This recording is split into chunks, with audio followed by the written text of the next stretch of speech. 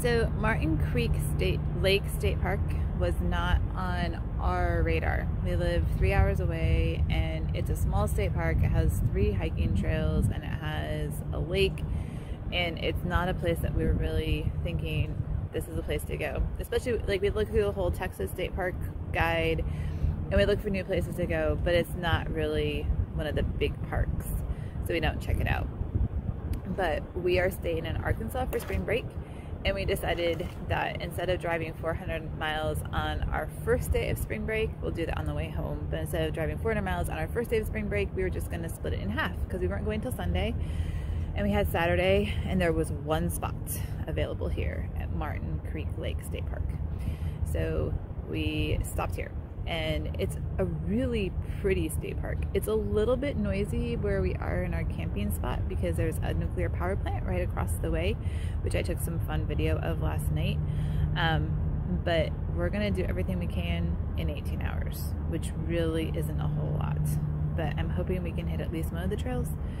Um, and we've walked around our loop a little bit and we've seen the lake and we're catching as much as we can with overcast skies. So here's our spot.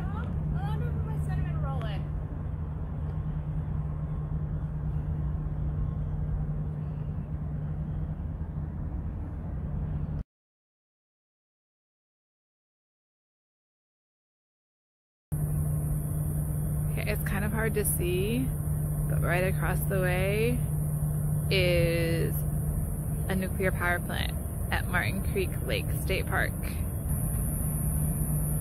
Okay, this is across the street actually from our campsite. That was earlier on the loop because Jeff and I went around the loop just to go to the bathroom. But if you look right across, you can see nuclear power plant. It's running. It's not shut down like it was several weeks ago. Oh, there's a little bit of a close-up. It's not the best zooming in. I'm trying to do this really slow.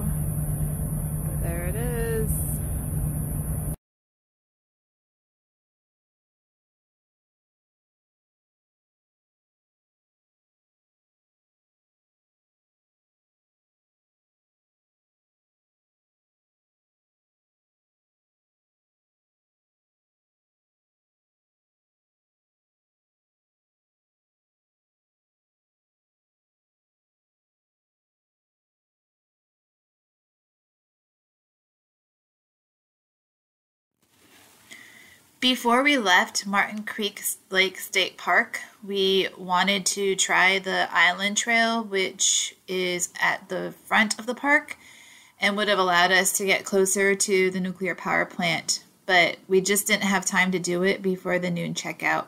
So instead, we just took video on our way out.